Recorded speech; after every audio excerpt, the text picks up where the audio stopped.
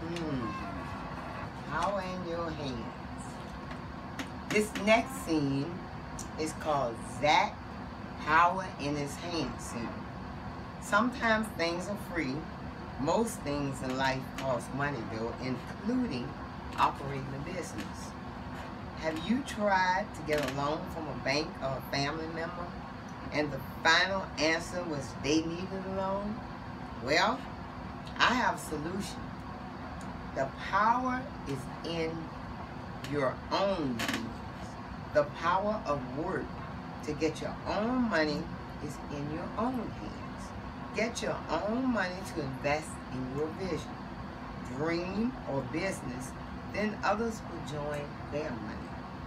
This next scene shows how Zach discovered that the power of creating his own money to support his vision was to use his own